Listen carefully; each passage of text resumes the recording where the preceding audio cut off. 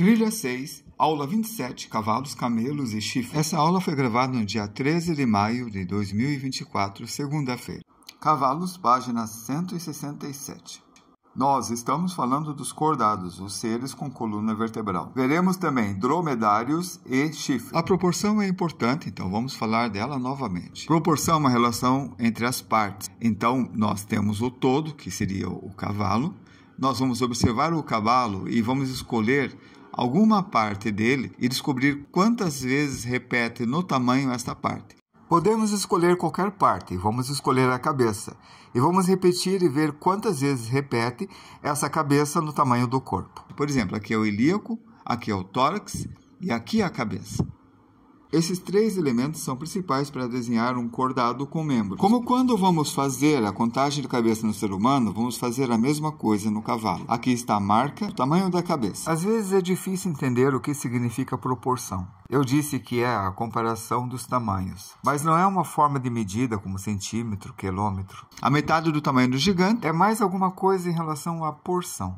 Se eu medir da frente da base do pescoço para trás, eu vou ter a localização da escápula. Então eu tenho uma relação, uma proporção. Agora, se eu medir da frente da base do pescoço para trás essa cabeça, eu vou ter a posição da escápula. Eu consigo reparar na escápula por esse brilho aqui na pele, ó, parece um brilho e tem uma pequena sombra e essa posição. Então, esse tamanho é o mesmo tamanho da cabeça, que mostra a posição da escápula. E se eu colocar para trás, parece que eu tenho o início aqui ó, da coxa, que também marca o início do ilíaco. Esta aqui é o fêmur. Com o tamanho da cabeça temos a escápula, o ilíaco. Então temos uma cabeça, duas cabeças e a partir daqui meia cabeça até o final do cavalo, uma, duas e meia. Agora eu tenho o suficiente para marcar o tamanho do meu cavalo, então faço a marcação da parte de trás e a parte da frente e eu posso fazer o tamanho que eu quiser, até o tamanho de um muro. Vou fazer uma medida pequena na parte de trás para fingir que é a metade, daí eu divido em dois e confiro realmente se dá a metade de cada parte da cabeça que eu marquei aqui. Então, dividi em duas partes e meia. Agora eu tenho a frente do corpo do cavalo, eu tenho a posição da escápula, e eu tenho a posição do ilíaco, e eu tenho o final do cavalo, eu tenho o cavalo inteiro. Estamos prontos para fazer o primeiro contorno do cavalo, a coluna vertebral. Aqui nós temos a torácica, Aqui nós temos a lombar e aqui temos o final do cóccix e vai para a cauda. Essa ondulação, esse conjunto de curvas tem que ser parecido com o que aparece no cavalo. Nós acabamos de usar nesse desenho a proporção e a forma com essa ondulação que a gente fez. Falta a inclinação. Eu sei que esta distância do pescoço é o mesmo tamanho desta da cabeça. Eu sei que isso aqui tem o mesmo tamanho da cabeça, então é só eu marcar aqui. Não, não é só isso. Tem a questão da inclinação. Esse tamanho é igual a esse tamanho, é uma transferência de medida. Isso vocês têm que treinar. Transferência de medida, está na primeira aula. Esse tamanho é igual a esse tamanho. Viram? Transferência de medida, eu fiz certinho. A cabeça, ó, nem vou fazer, já que estou com a medida aqui, eu vou colocar aqui, ó. A cabeça vem até aqui. Aqui vai estar o focinho, o focinho do cavalo. Então, o nosso cavalo vai estar por aqui, nesse ponto. Fácil? Sim. E ele faz essa descida aqui, isto. Opa, tem uma coisa errada. Olha o que eu fiz. Muito pequeno. Agora vamos começar a investigar o que erramos. Esta medida, talvez se colocar para trás, ele deu um tamanho mais adequado. Vamos testar fazendo esse desenho que eu fiz um pouco mais para trás e o pescoço vai também para trás. Tá, mas será que está certo isso? Porque eu chutei, eu não tenho certeza. Vamos não chutar. Vou ampliar. Posso ampliar, não, vai, não vou perder as medidas. Por quê? Isso é comparação de medida. Olha uma coisa. O tamanho da cabeça eu tinha medido daqui até aqui. Percebe que a medida aumentou porque ampliei o desenho? Agora a medida está aqui. A coincidência, deu três partes. Isso é legal. Vamos medir o pescoço? Veja. O tamanho do pescoço deu metade metade do tamanho. Significa que se a cabeça tem esse tamanho, essa distância, que é a metade, vai ser o tamanho disso daqui. Olha, eu chutei certo. Sim, chutei certo. Confiei nos meus instintos. Então aí está. O que eu tenho? Este copo forma Por isso, o que vocês precisam sempre, mais sempre, mais sempre, que eu repito em todas as aulas, é proporção, que é uma relação de tamanhos para você fazer as medidas certas, inclinação, que ainda não aplicamos nesse desenho, só chutamos uma inclinação qualquer, e forma, que usamos para fazer a cabeça, o pescoço e a curvatura das costas. Treine essas coisas porque vai facilitar o desenho de vocês. Quando vocês simplificam em proporção, inclinação e alguma forma bem simples e compreensível para vocês, como o pescoço ser igual a um copo e o focinho ser igual a um copo também, com esferas, triângulos e formas quadradas, vão facilitar a vida e vai ser um desenho muito mais rápido. Agora eu vou comparar o tamanho da cabeça do cavalo com o tamanho do tórax e tem o mesmo tamanho. Por isto, a gente vai passar o tamanho da cabeça do cavalo do meu desenho para o tórax e assim eu consigo a proporção correta. Eu já consigo ver uma forma coerente do cavalo, já está agradável meus olhos. Então agora nós vamos trabalhar na altura do cavalo, da sela até o chão. Se eu comparar com a cabeça, esse é o tamanho da cabeça, deu um pouco maior que a cabeça, viram? Quanto maior? Quiserem saber precisamente? Isto maior. E quanto isso é maior? É um, dois, três, 4,5. Ah, é 3,5. É 4,5. Não, é, tipo, eu divido em 3,5 a cabeça e coloco esse 3. É, eu acho que é isso. Ah, então tá. Vou dividir a cabeça em três partes, que é mais fácil. Tá aqui. Coloco essas três partes aqui e aumento o meio. Pronto. Mas eu posso deixar maior? Posso. Porque quanto maior a perna do cavalo, mais elegante ele é. Quanto menor a perna do cavalo, menos elegante ele é. Porque são valorizadas pernas longas para correr. Olha como essa perna é meio curta, vê? Ó, perna curta. Se eu medir essa perna, medir, não importa qual a medida em centímetros, é a medida assim de proporção.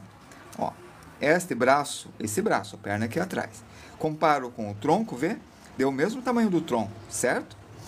Vamos medir com a cabeça? Ó, a cabeça é menor. Quanto menor a cabeça do cavalo, também mais elegante ele é. Então, esse daqui tem essa proporção, viram? O corpo tem o mesmo tamanho da perna e a cabeça é menor. Essa relação de medida que comparamos tamanhos é proporção. Por exemplo, tem o tamanho do corpo do cavalo, do tórax. Esse cavalo, por exemplo, nós vamos medir o tórax e comparar com a cabeça. E olha que surpresa, a cabeça tem a mesma medida que o tórax. Eu posso comparar qualquer parte do corpo, por exemplo, o tórax junto da perna, posso comparar o braço junto do peitoral, do quadril junto da altura do pescoço. Percebe como é importante a gente ver referências, mesmo se a gente sabe o básico do cavalo? para ter todos esses diferenciais e conseguir mais qualidade na sua arte. Quando nós vamos desenhar a partir de uma foto, nós não vemos tudo isso, então a compreensão básica da anatomia nos ajuda bastante. Por exemplo, agora vamos dar uma olhada na perna. Aqui, ó, na coxa, tem uma sombra bem no meio. Aqui nós vemos bem um músculo com esse brilho.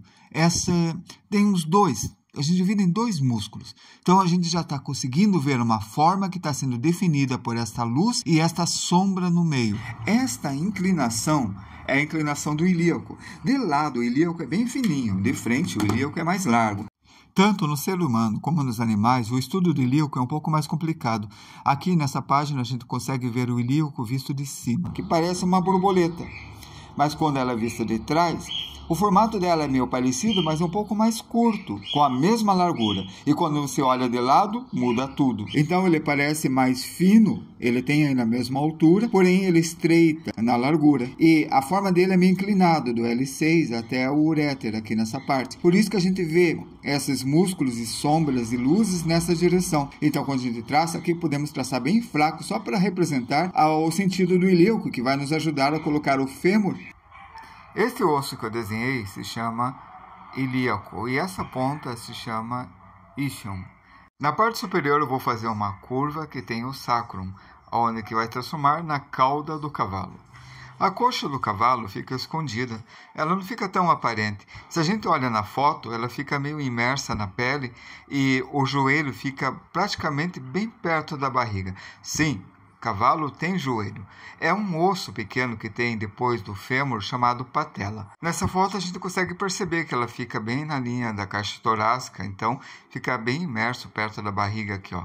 O joelho dobrando, percebe? Ele dobra como se fosse joelho. Então fica bem claro que a coxa fica até a altura da barriga. Mais ou menos nesta área. Eu fiz várias bolinhas para simular o movimento da perna. Olha, cada traço é onde que pode estar a coxa. Então nós temos cinco posições do movimento do cavalo. Então quando desenharmos, temos que saber que o joelho fica nessa posição e que esta coxa se move. Veja só que aquela está dobrada tem a parte de dentro. Veja no livro, o ser humano tem a coxa, o fêmur, o cavalo tem a coxa, o fêmur. Aqui é a mesma coisa que isso daqui, ó, o joelho, o joelho, calcanhar e calcanhar. Então, o cavalo vai ter um calcanhar levantado também. Vamos posicionar aqui o joelho, só para fazer ele mais inclinado. Vamos escolher colocar o joelho avançando para frente, nessa inclinação, para deixar bem claro como que a coxa do cavalo funciona. Já a outra coxa, vamos colocar ela virando para trás, deixando o joelho um pouco mais recuado da outra perna. Na primeira coxa que nós estamos desenhando, essa parte fica o glúteo. Então nós subimos nesse, nessa curva. E agora nós temos o formato completo da coxa. Essa parte que eu estou pintando de cinza não é muito claro na foto. Mas é importante nós desenhistas sabermos como funciona para dar movimento, fazer o cavalo correndo, trotando com mais eficácia, com mais eficiência. Nessa parte de trás, aqui em cima, nós temos o ilíaco, que parte de trás vai até aqui fazendo esse calombo. Ela que sustenta o cox, sustenta os dois fêmurs, e ela é bem importante. E depois nós temos a tíbia e a fíbula, igual na perna do ser humano que vai descer do joelho até o calcanhar. Repare que no braço tem uma estrutura quase parecida, só os nomes mudam. É a rádio e ulna em vez de tíbia e fíbula. E no lugar do joelho tem o cotovelo. O conjunto do braço é meio parecido com o conjunto da perna, porém é, as articulações mudam e os nomes também, óbvio. Aqui nós temos o fêmur, Aqui temos a tíbia e a fíbula. Aqui aparece mais a tíbia, que está desse lado, mas pode ver ali em cima escrito fíbula, que está o osso atrás. Virando a página, a gente tem a visão posterior do cavalo e assim consegue ver o distanciamento de uma perna a outra, assim como o formato do ilíaco. Repare que tem um osso mais estreito atrás da fíbula, esta é a tíbia. O osso de cima é o fêmur, então nós temos aqui o osso da perna a fíbula e a tíbia. Agora que temos a posição do joelho e já sabemos onde é o pé, que já tínhamos marcado antes na proporção, nós vamos dividir dessa distância até o joelho na metade.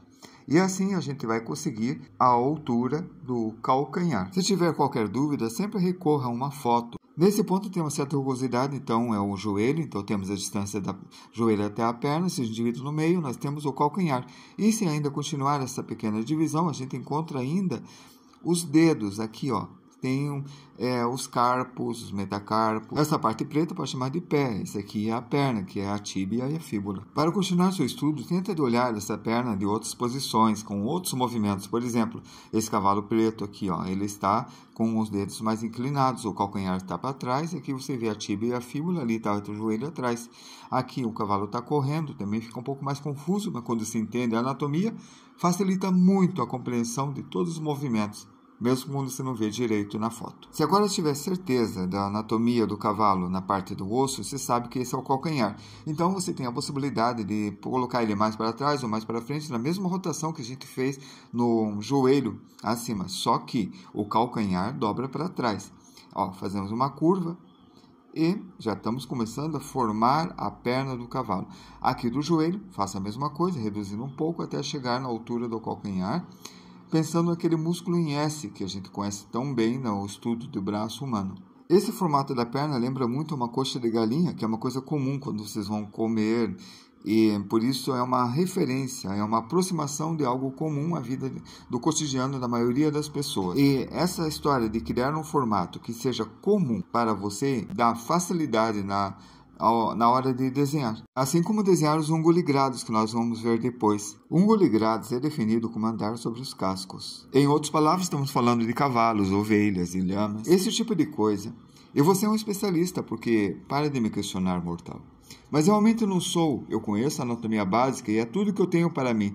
No entanto, notei alguns problemas comuns ao desenhar pessoas ungoligradas e como não consigo pensar nenhum outro tutorial para evitá-los, decidi criar um. Como você pode ver, a estrutura óssea é a mesma e apenas proporcionalmente diferente. É um truque que é encontrar um meio feliz entre o crítico senso comum e o ser humano comum. Agora vamos desenhar o pé dividindo essa secção em três partes. A primeira e a segunda parte vão ser o corpo do pé E a terceira parte é como se fosse o dedo, então vai ser o casco. Essa bolinha vai ser como uma representação daquele bolinha que tem no dedo da mão, aqui ó, quando você faz isso aqui forma essas bolinhas. Esse meus dedos, imagine que é o dedo do pé, representa a mesma coisa que o casco. Agora vamos rever a perna, aquela parte que tem a tíbia e a fíbula, ela também parece uma coxa de galinha. A coxa de galinha meio magra.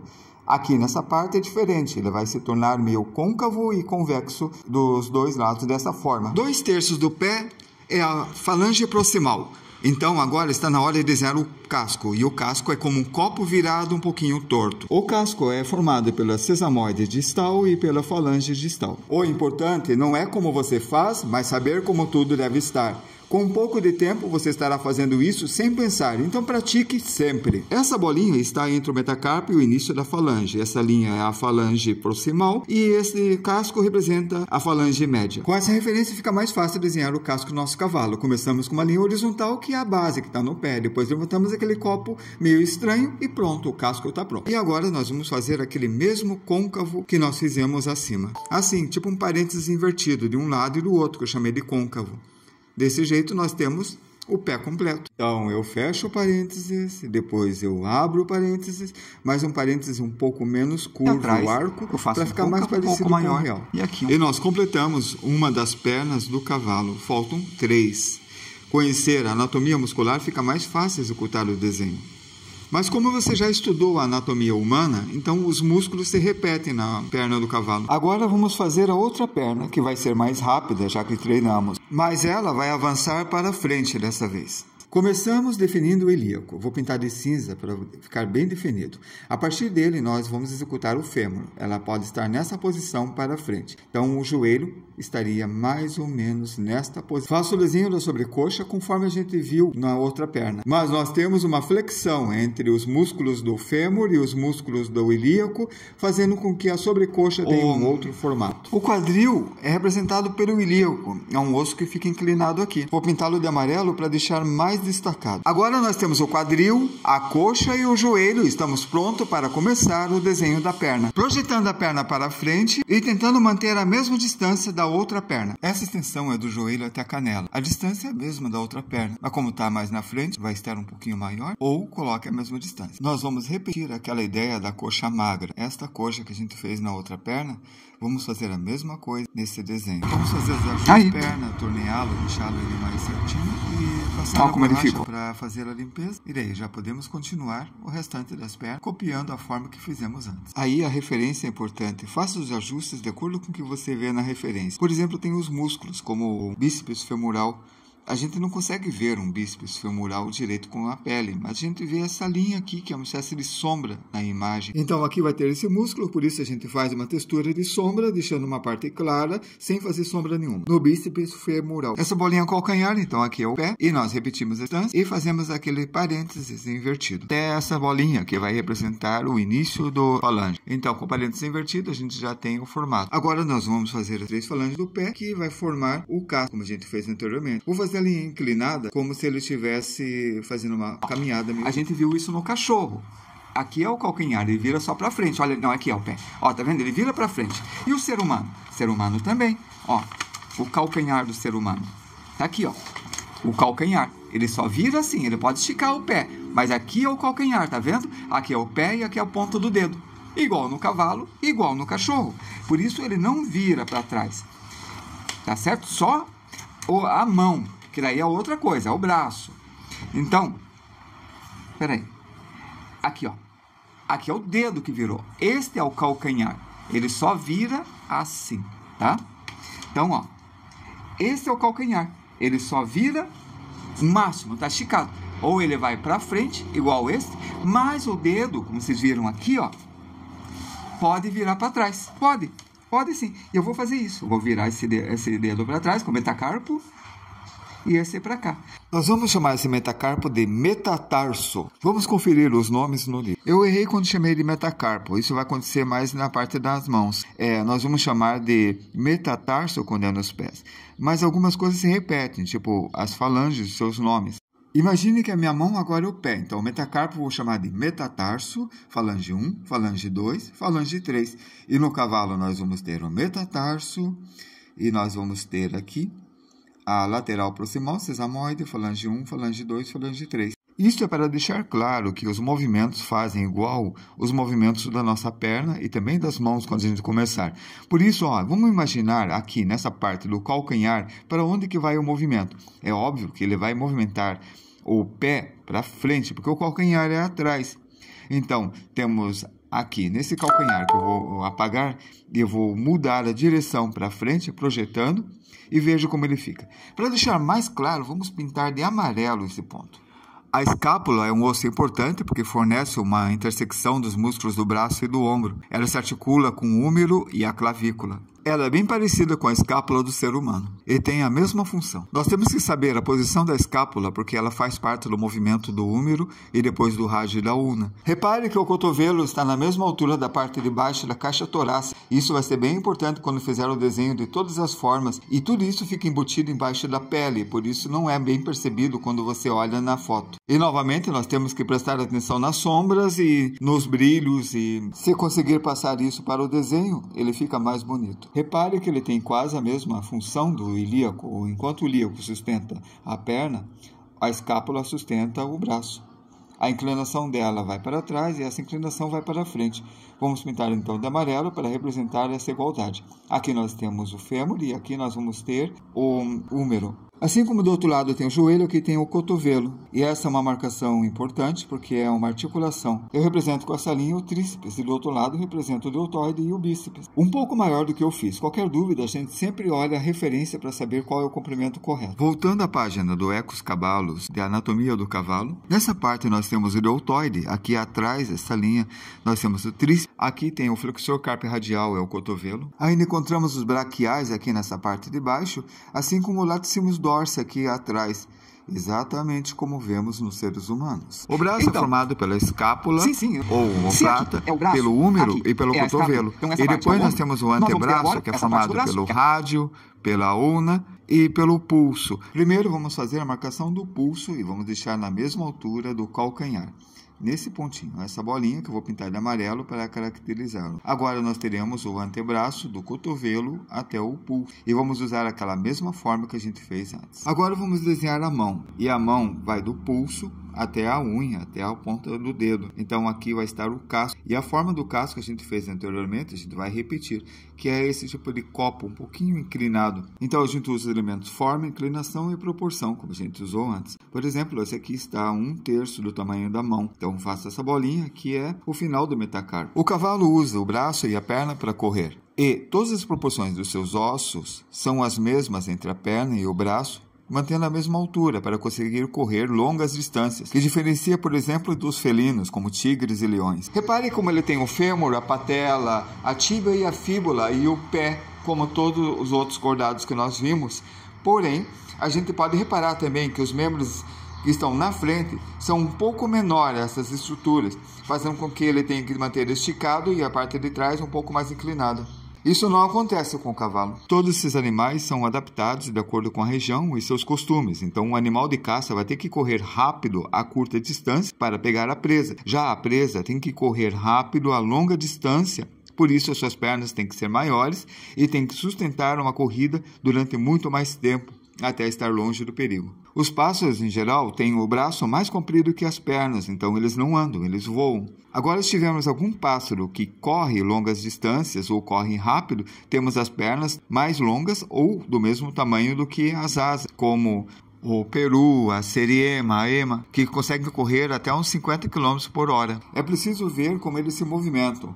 Como o braço fica esticado enquanto a perna dobra, como tem quatro membros, cada um deles vai ter um movimento específico e diferente. Como, por exemplo, esse braço que eu estou desenhando, o braço esquerdo. Ele vai se projetar para frente, assim como a perna direita fez. Por isso, a perna esquerda vai se projetar como o braço direito, para que ele não caia, não tombe para um lado ou para o outro e consiga manter um ritmo. Assim como cada membro vai se mexer diferente, porque seus ossos são estudados de uma forma que você pode se dobrar tanto para trás quanto para frente, como aqui ó, na minha mão.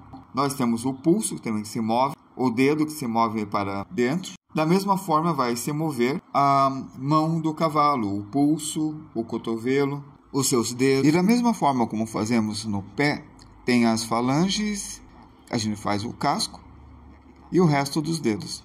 O estudo dos cordados com membros e sua anatomia é quase igual ao estudo dos seres humanos e a sua anatomia.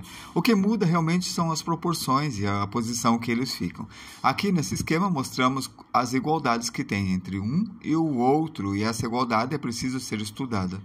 Vamos para a cabeça do cavalo. Há várias técnicas para desenhar a cabeça, mas vamos usar a mesma técnica que usamos com ser humano, cachorro e gato. A gente vai dividir a mandíbula da cabeça uma forma de esfera e, um cone nesta parte do focinho. É mais um cone com o topo cortado, como nós fizemos com o pescoço. O masseter, onde fica o zigomático, vamos representar com uma bolinha pequenininha que está entrando em intersecção com a esfera maior da cabeça. Na parte de cima a gente vai deixar reto. Alguns cavalos podem ter uma protuberância da sobrancelha. Esse focinho ela é um espécie de cone com uma ponta cortada, mais ou menos desse tipo aqui. É como se estudasse o cilindro, porém uma das bases é menor.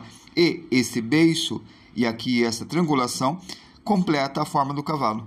Vamos repetir esse desenho na cabeça menor. A gente vai fazer o beiço, a ponta, a, o zigomático e nós teremos a forma dele. Mas agora nós vamos fazer a narina dele nessa parte. Essa é a narina, que também pode variar de cavalo para cavalo, por isso é importante vocês verem modelos e referências. Com essa letra C meio inclinada, eu pinto uma pequena sombra e já resolvi a narina. Quando eu falo em ver referências, é vocês procurarem fotos de cavalos, desenhos de cavalos, anatomia de cavalos, da mesma forma como estou mostrando aqui nesta foto ou nesse desenho da anatomia, que mostra é, um Czinho um pouco mais virado, um pouco mais menor, ou esse que é mais retangular ou até uma forma mais inclinada em perspectiva e bem mais cheia de angulações. Agora é só finalizar fazendo essa linha reta que vai até o topo da cabeça que finalizamos com uma curva. Mas nem todos os cavalos e essa linha vai ser reta. Ela vai variar de acordo com o tipo do cavalo, é igual o cachorro. Existem várias raças e, de acordo com essa raça, vai ter pequenas alterações de formato. Por isso, quando você fizer, escolha o seu favorito antes, o teu modelo favorito. Para fazer a orelha, segue essa linha da cervical até a nuca e estenda um pouco, mas qual é o tamanho? Para saber o tamanho, pega uma referência, meça a orelha e compare com o tamanho de alguma coisa como o tamanho da cabeça ou o tamanho da altura da cabeça. É isso que a gente vai fazer. Vamos contar uma, duas, duas e meia. Então é 1, 2,5 avos, esta parcela de tamanho.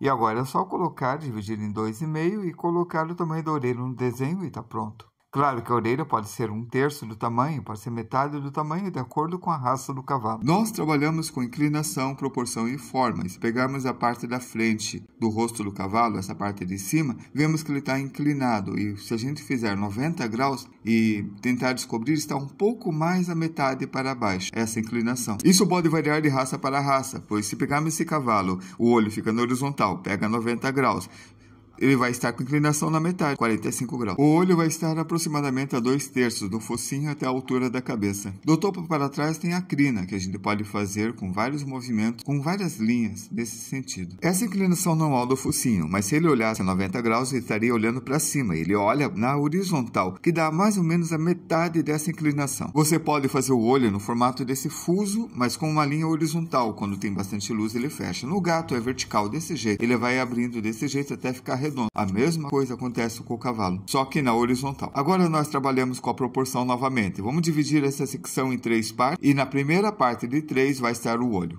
Nós não estamos trabalhando o estudo dos olhos daquela forma mais cuidadosa que a gente normalmente faz, mas estamos fazendo aqui de uma forma mais rápida para mostrar o cavalo inteiro. Por isso, é, deixa aqui ó, no dois terços do cavalo a posição do olho, faça o fuso bem pequenininho, seguindo esse modelo, mas depois você pode procurar com mais especificidade, procurar um cavalo com o olho mais bonito, tentar reproduzir o reflexo, fazer os cílios, exatamente como nós estudamos quando vamos fazer o olho humano. A gente vai fazendo vários desenhos dos olhos diferentes. Assim como nós desenhamos um cartoon ou um cavalo com um estilo mais estilizado, ou até de frente, de lado, de cima. O importante é continuar o estudo.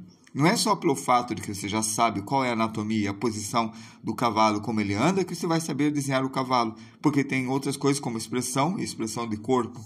O importante é fazer esses estudos e aplicar, mesmo que seja um estudo mais rápido, porque se está com pressa de desenhar um cavalo, por exemplo, olho esse olho, vejo uma sobrancelha, eu vou aplicar aqui também, bem pequeno, porque eu vi a proporção do olho, comparando com a foto, eu já tenho o esboço.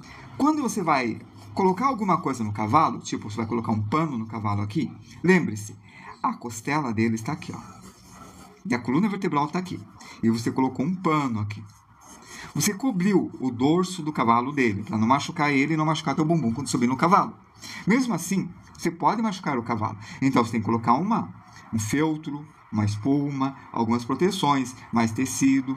Isso aqui começa a aumentar até chegar na cela. Ó, a cela fica mais alta. E a cela é um couro mais duro que fica ali, bem em cima, flutuando no cavalo.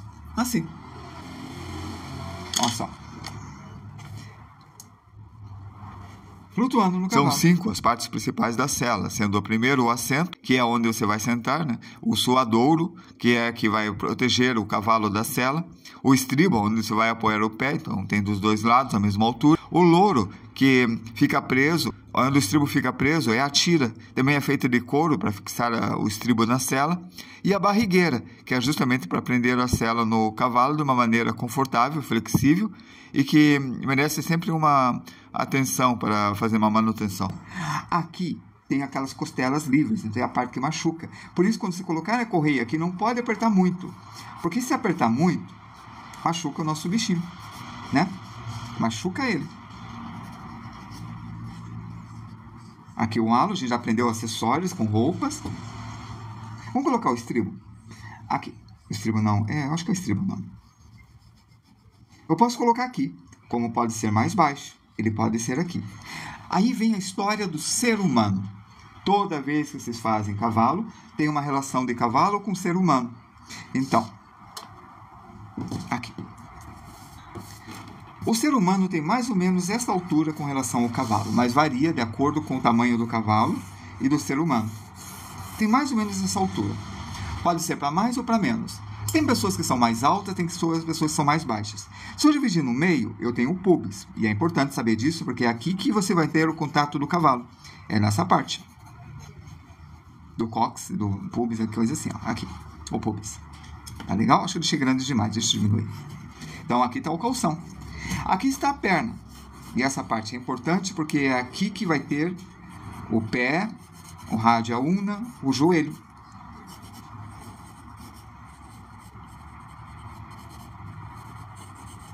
E aqui vocês vão ter a caixa torácica, aqui a cabeça, aqui vai estar o ombro, o cotovelo na altura do umbigo e a mão. E esse sujeito tem a altura desse cavalo. Agora eu tenho o tamanho da perna, do braço, da mão, de tudo, comparado com esse cavalo, mas com esse cavalo. Muda de cavalo para cavalo. Então o pubis nesse cavalo vai estar aqui. Mas a pessoa pode ser menor? Pode. E o cavalo pode ser maior? Pode. A altura de um cavalo pode medir uns 1,30m, 1,40m até 1,83m de acordo com a raça. Também tem a variação de acordo com a idade, mas isso é uma outra história. Essa medida não é medida até a cabeça, é até a medida até o garrote, é aquela parte perto da cela, perto do pescoço, onde tem a escápula. Então, se você conta a cabeça, já pode aumentar para uns 2 metros. No caso, coloquei a medida de um cavalo árabe, que mede 1,40m. O importante de saber essas medidas é que a gente sabe que uma pessoa pode ter 1,70m, 1,80m. Então, a cabeça do cavalo pode ficar um pouco mais alto que o ser humano, como nesse cavaleiro aqui. Se a gente colocasse esse cavaleiro no chão, o cavalo seria bem alto.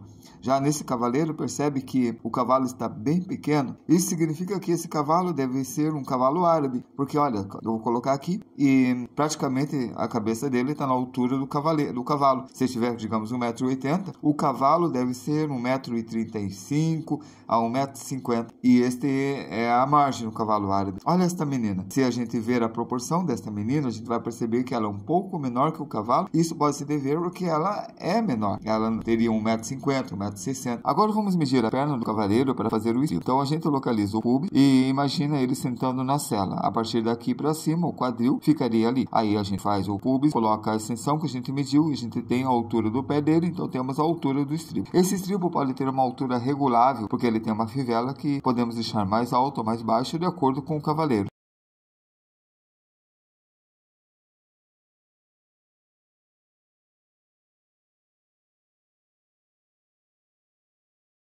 Agora nós vamos colocar a focinheira, mas olha com atenção na foto como é que ela é. E só por curiosidade, olha os nomes. É testeira, cachaceiro, cisgola, essas partes acabeçadas, como as partes das celas que nós não vamos ver, se chamam cachaceira, testeira, faceira, focinheira, cestola e rédeas. Elas são bem importantes para que a gente dê uma coerência na forma como a gente vai colocar esses coros na cabeça, para não ficar uma coisa meio perdida. A embocadura também que se colocam ali na boca do cavalo.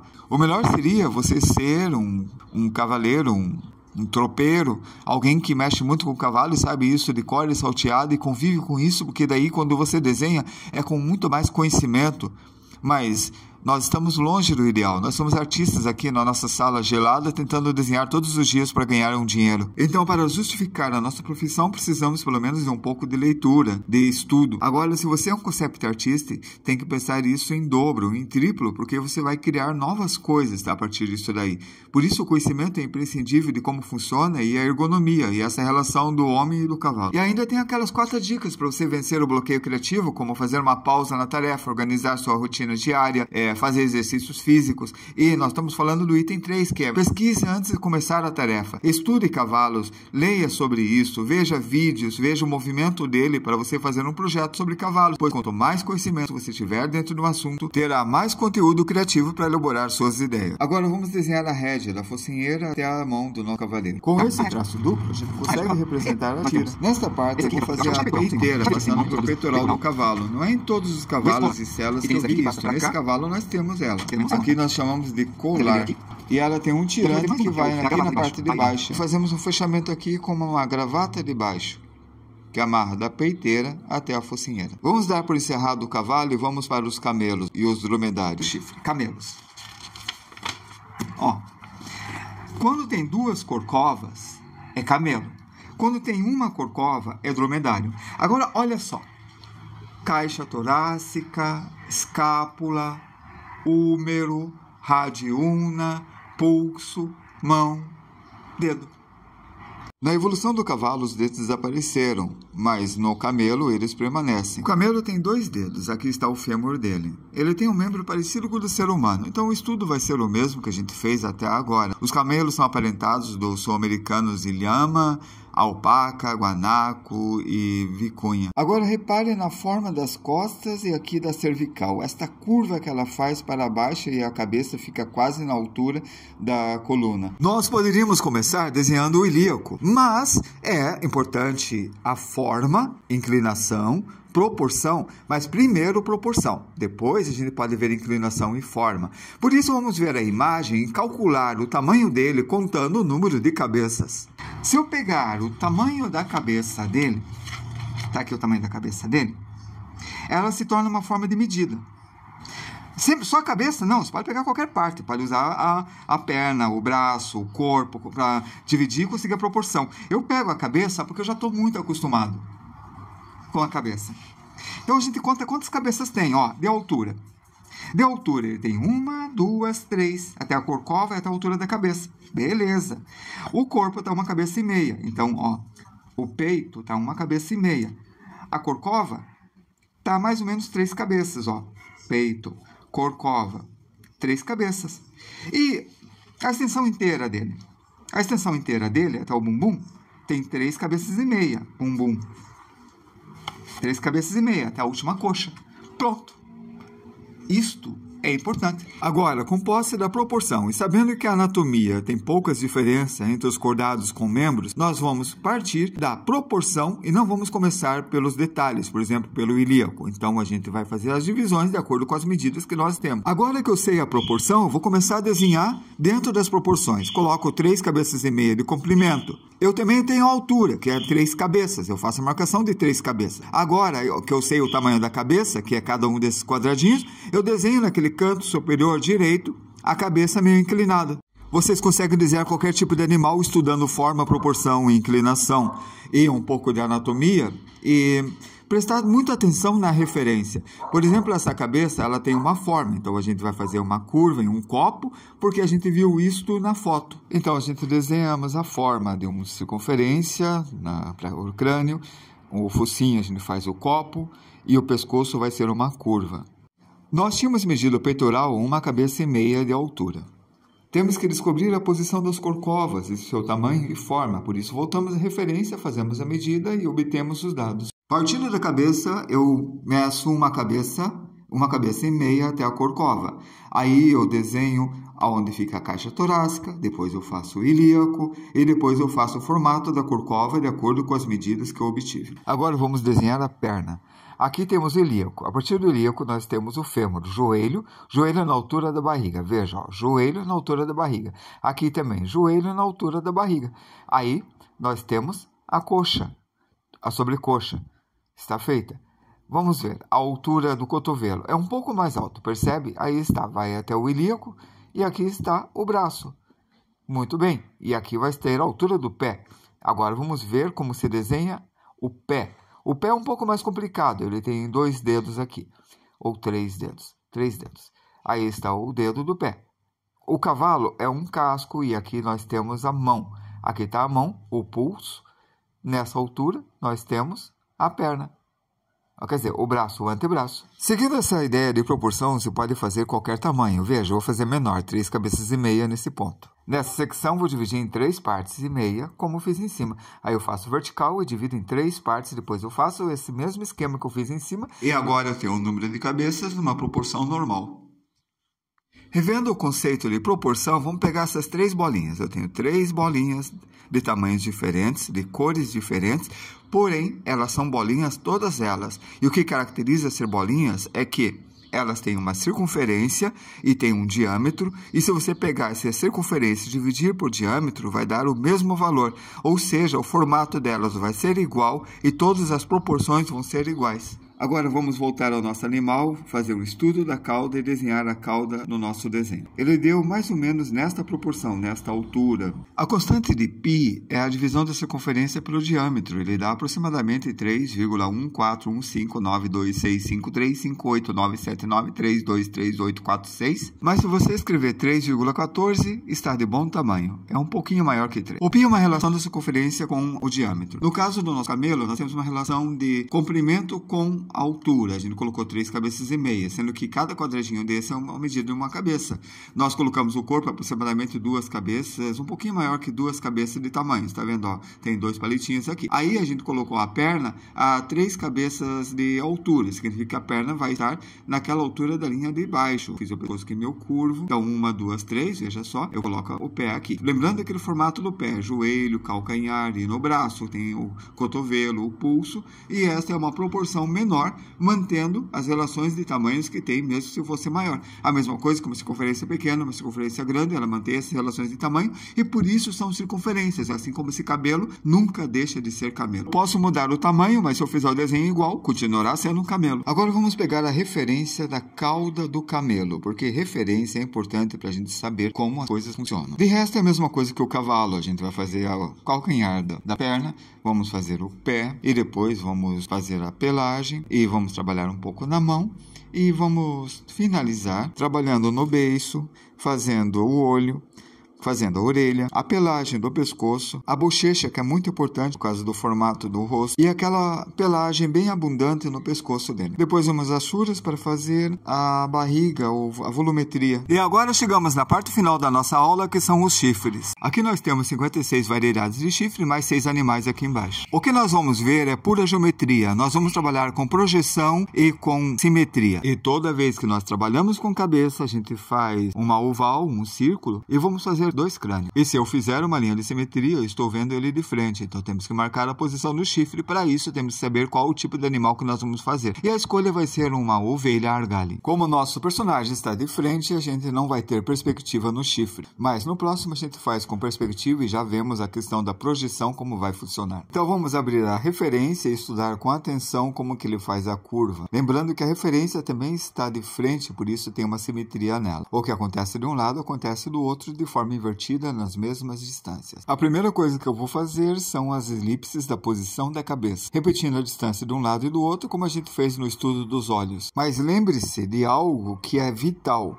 esta é uma esfera sendo representado com uma circunferência, ela tem uma volumetria.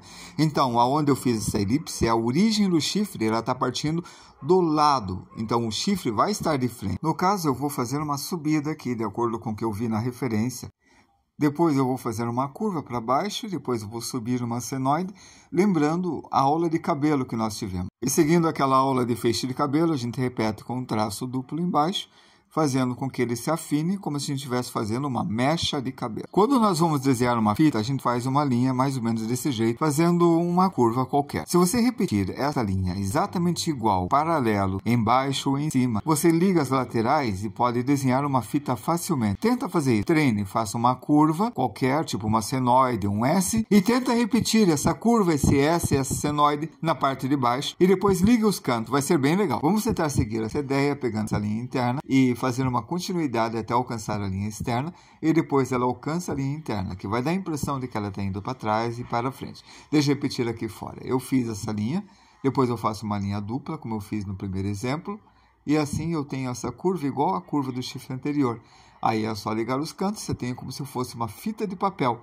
E é essa sequência que nós estamos fazendo para fazer ah, o chifre desse ovelha. Agora vamos repetir o processo do outro lado, com o mesmo tipo de curva, usando aquele sistema lá do papel, fica muito mais fácil.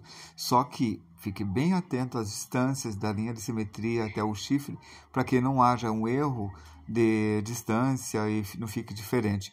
A mesma coisa que tem que fazer com o olho no ser humano quando o rosto fica visto de frente, para que um olho não fique torto ou um olho muito mais afastado do centro do que o do outro, que é um erro muito comum dos desenhistas iniciantes. A gente tenta repetir igualzinho, confere as medidas, tanto vertical quanto horizontal, até os dois lados ficarem bem parecidos. Isso é uma simetria. A questão da simetria, quando está em perspectiva, é que quando você inclina essa curva, pode ter esse formato, ele muda, a curva se esconde. Por exemplo, a parte posterior, essa curva parece uma reta. Então a coisa se torna meio complicada, mas pense bem, aqui é uma simetria. A própria simetria muda, ela fica meio curva. Se eu mudo assim, ó, outra simetria vira e cada uma dessas circunferências fica uma elipse. Então, ó, uma circunferência quando vira fica uma elipse. Isso tem a ver com uma deformação. As coisas se deformam quando vão virando. Então vamos desenhar aqui esta curva que representa a simetria. Esta linha é uma simetria que inclinei para cá e ela ficou curva deste jeito. Isso aqui está bem claro, mas cada uma dessas circunferências ficam elípticas de uma forma diferente de acordo com a posição que está na esfera. Fica aqui. Quando eu inclino, ela vem para cá. E do outro lado? Do outro lado, ela fica lá atrás, tá? Então, ó, esse chifre vai estar tá aqui perto e esse chifre está aqui, ó pintado amarelo para comparar com esse. Até agora está tudo claro? Bom, a inclinação que está esse daqui, ó, tá aqui, ó. Eu viro assim, mas eu posso inclinar assim também, viu? Ó, esta linha inclinou. Esta linha aqui, ó. Então tá aqui, ó. Você tem essas bolinhas. Eu viro a bolinha para lá, ela fica de lado, mas eu posso inclinar de lado, viram? Então, aqui ele está inclinado assim, para cima, ó. Eu sei por causa das duas bolinhas. As duas bolinhas diz que ele está inclinado assim. E é óbvio que o chifre vai inclinar igual. Então é importante saber a inclinação. Por exemplo, se eu colocar uma boca aqui, vamos colocar um rosto, um nariz, o olho e a boca. E a orelha. Tá aí. E o chifre na testa. Perfeito? Vamos lá. Esse chifre está inclinado assim, o olho está inclinado na mesma inclinação, a boca na mesma inclinação. Tá certo? Tá tudo na mesma inclinação. Agora que vai ser difícil. Para o chifre estar tá na frente, ele vai um pouco para frente. Ele encurva e vai para trás nesta distância aqui. Então, esse chifre vai para frente e esse chifre vai para frente. Então ele vai para frente e para cima, ó. Ele está subindo. Ele está subindo, subindo para frente e para o lado. Nessa direção. Fechou? Fechou, né? Só que ele vai encurvar para trás, depois ele vai virar e vai descer, e depois vai encurvar para frente, e depois vai virar para o lado e depois vai virar para cá.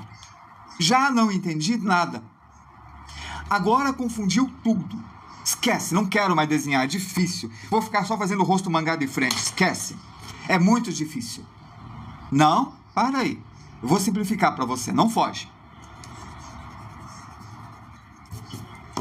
Vamos voltar ao estudo de cilindro. Quando você tem um cilindro, como esta tinta aqui, ela está assim, ela está nesse ângulo. Se eu viro de frente, ela vira uma bolinha.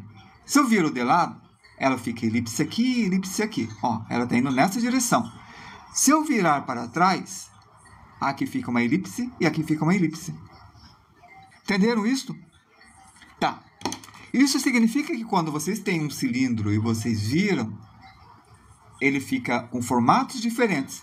E é por isso que vocês vão ter que treinar cilindros para fazer braços, pernas, sapatos, motos, motores, engrenagens. Tem que treinar isso daqui de vários ângulos para conseguir fazer o chifre. Por quê? Olha, esse chifre está indo para frente. Está aqui. Está indo para frente.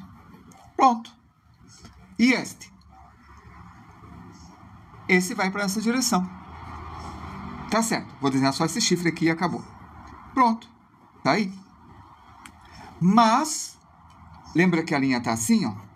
A altura é esta. Legal. Mas, ele inclina para trás. Aqui, ó, ele inclina para trás. Então ele vai inclinar para lá. E como é que eu sei como inclina para lá? Ó, esse daqui é igual a este. Agora ele inclinou para lá. Olha o formato que ficou. Fala, desenhista. Boa noite para você também. Ele vai para cá. Ele está inclinando. Viu? Inclinou. E este? Agora que a coisa pega. Eu sei que a outra ponta do outro cilindro vai estar nessa inclinação assim. Mas aonde? Para onde que ele inclinou? O quanto ele inclinou? Ó, eu fiz essa parte e agora eu fiz essa parte. E essa parte está nessa distância, mas está para trás. E essa distância é igual a essa distância. Ele foi para trás, aqui está a curva, ele estava aqui, ele foi para trás. Eu vou subir uma reta até mais ou menos essa altura. Quanto é essa altura? Sei lá, não essa altura. Meço essa distância, coloco a mesma distância para cá. E faço aqui. Pronto. Agora eu vou ligar. Agora eu vou ligar. Oh, pronto, consegui. Nossa, isso é complicado. Sei, isso é projeção. A gente vai ver isso de novo. Tá. Mas ele inclina mais ainda ele inclina aqui, ó. Ele vai nessa direção agora, mais para fora. Ó, aqui está a linha de simetria. Daqui até aqui, eu vou colocar essa distância, ó, bem maior. Então, aqui, eu faço o outro caninho. Tá aí. E agora eu ligo. Tá, aqui é o centro. Pego essa distância, coloco aqui e faço o outro latinha virado para lá. Já se perderam? Provavelmente. Isso não é para fraco, isso é para forte. Isso vai ser bem complicado. Olha como eu errei. A linha é assim. Essa linha é assim. Eu deixei muito alto. Vou abaixar. Até agora está indo bem. Tá, e agora? E agora ele desce. Ele desce. Desce e desce. Na mesma altura. Tá lá atrás. Eu não estou vendo onde ele está. Tá lá atrás da cabeça. Mas eu sei que acaba aqui. Eu tenho que saber onde acaba, mesmo não vendo.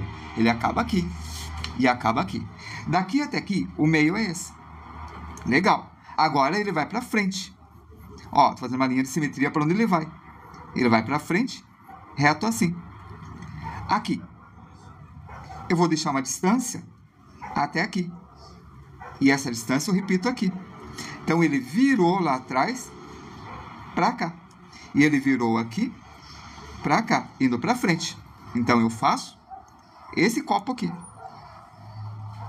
Aqui ele não apareceu ainda. Ele está atrás da cabeça, mas eu sei que está aqui, no raio-x. Próxima. A próxima ele sobe. Então vamos subir aqui.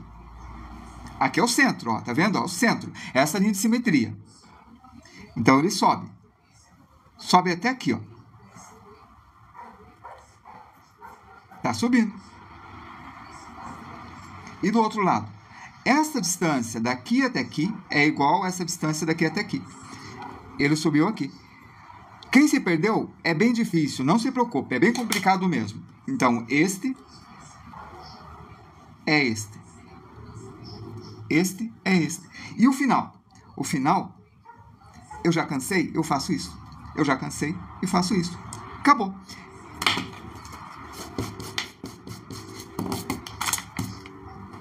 Opa, é esse aqui. Ele veio para cá, encurvou aqui, veio aqui. Perfeito.